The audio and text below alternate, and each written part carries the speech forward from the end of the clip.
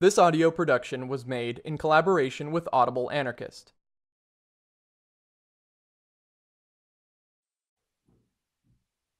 Your politics are boring as fuck. By Nadia C. at CrimethInc. Face it, your politics are boring as fuck. You know it's true. Otherwise, why does everyone cringe when you say the word? Why has attendance at your anarcho communist theory discussion group meetings fallen to an all time low? Why has the oppressed proletariat not come to its senses and joined you in the fight for world liberation? Perhaps, after years of struggling to educate them about their victimhood, you have come to blame them for their condition. They must want to be ground under the heel of capitalist imperialism. Otherwise, why do they show no interest in your political causes? Why haven't they joined you yet in chaining yourself to mahogany furniture, chanting slogans at carefully planned and orchestrated protests, and frequenting anarchist bookshops? Why haven't they sat down and learnt all the terminology necessary for a genuine understanding of the complexities of Marxist economic theory? The truth is, your politics are boring to them because they really are irrelevant. They know that your antiquated styles of protest, your marches, handheld signs, and gatherings are now powerless to effect real change because they have become such a predictable part of the status quo.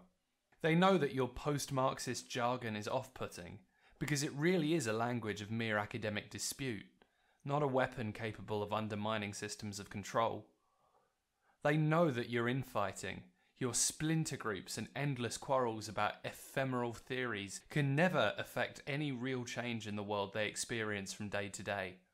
They know that no matter who is in office, what laws are on the books, what isms the intellectuals march under, the content of their lives will remain the same. They, we, know that our boredom is proof that these politics are not the key to any real transformation of life for our lives are boring enough already. And you know it too. For how many of you is politics a responsibility? Something you engage in because you feel you should, when in your heart of hearts there are a million things you would rather be doing? Your volunteer work, is it your most favourite pastime, or do you do it out of a sense of obligation? Why do you think it is so hard to motivate others to volunteer as you do? Could it be that it is above all, a feeling of guilt that drives you to fulfill your duty to be politically active? Perhaps you spice up your work by trying, consciously or not, to get in trouble with the authorities, to get arrested. Not because it will practically serve your cause, but to make things more exciting, to recapture a little of the romance of turbulent times now long past. Have you ever felt that you were participating in a ritual a long established tradition of fringe protest that really serves only to strengthen the position of the mainstream? Have you ever secretly longed to escape from the stagnation and boredom of your political responsibilities? It's no wonder that no one has joined you in your political endeavours. Perhaps you tell yourself that it's tough, thankless work, but somebody's got to do it. The answer is well, no. You actually do us all a real disservice with your tiresome, tedious politics. For in fact, there is nothing more important than politics. Not the politics of American democracy and law, of who is elected state legislator to sign the same bills and perpetuate the same system. Not the politics of the I got involved with the radical left because I enjoy quibbling over trivial details and writing rhetorically about an unreachable utopia anarchist. Not the politics of any leader or ideology that demands that you make sacrifices for the cause, but the politics of our everyday lives. When you separate politics from the immediate everyday experiences of individual men and women, it becomes completely irrelevant. Indeed, it becomes the private domain of wealthy, comfortable intellectuals who can trouble themselves with such dreary theoretical things. When you involve yourself in politics out of a sense of obligation and make political action into a dull responsibility rather than an exciting game that is worthwhile for its own sake, You scare away people whose lives are already far too dull for any more tedium. When you make politics into a lifeless thing, a joyless thing, a dreadful responsibility, it becomes just another weight upon people, rather than a means to lift weight from people. And thus you ruin the idea of politics for the people to whom it should be the most important. For everyone has a stake in considering their lives, in asking themselves what they want out of life and how they can get it. But you make politics look to them like a miserable, self referential, pointless middle class bohemian game, a game with no relevance to the real lives they're living out. What should be political? Whether we enjoy what we do to get food and shelter, whether we feel like our daily interactions with our friends, neighbours, and co workers are fulfilling, whether we have the opportunity to live each day the way we desire to. And politics should consist not of merely discussing these questions, but of acting directly to improve our lives in the immediate present. Acting in a way that is itself entertaining, exciting, and joyous. Because political action that is tedious, tiresome, and oppressive can only perpetuate tedium, fatigue, and oppression in our lives. No more time should be wasted debating over issues that will be irrelevant when we must go to work again the next day. No more predictable ritual protests that the authorities know all too well how to deal with.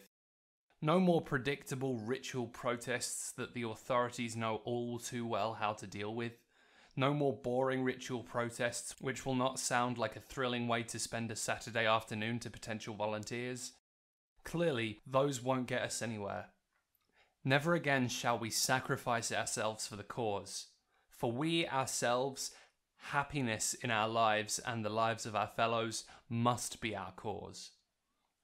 After we make politics relevant and exciting, the rest will follow. But from a dreary, merely theoretical and or ritualized politics, nothing valuable can follow. This is not to say that we should show no interest in the welfare of humans, animals, or ecosystems that do not contact us directly in our day to day existence. But the foundation of our politics must be concrete. It must be immediate. It must be obvious to everyone why it is worth the effort. It must be fun in itself. How can we do positive things for ourselves if we ourselves do not enjoy our own lives? To make this concrete for a moment, an afternoon of collecting food for businesses that would have thrown it away and serving it to hungry people and people who are tired of working to pay for food, that is good political action, but only if you enjoy it. If you do it with your friends, if you meet new friends while you're doing it, if you fall in love or trade funny stories or just feel proud to have helped a woman by easing her financial needs, that's good political action. On the other hand, if you spend the afternoon typing an angry letter to an obscure leftist tabloid objecting to a columnist's use of the term anarcho syndicalist, that's not going to accomplish shit. And you know it. Perhaps it is time for a new word for politics, since you have made such a swear word out of the old one. For no one should be put off when we talk about acting together to improve our lives.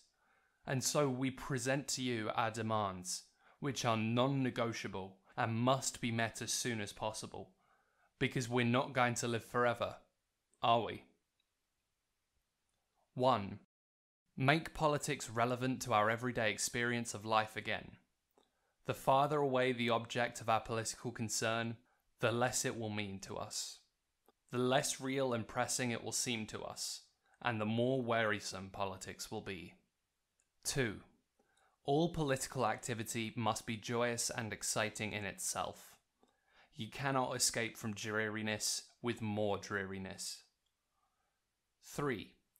To accomplish those first two steps, entirely new political approaches and methods must be created. The old ones are outdated, outmoded. Perhaps they were never any good, and that's why our world is the way it is now. 4. Enjoy yourselves.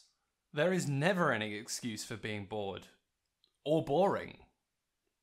Join us in making the revolution a game, a game played for the highest stakes of all, but a joyous, carefree game nonetheless.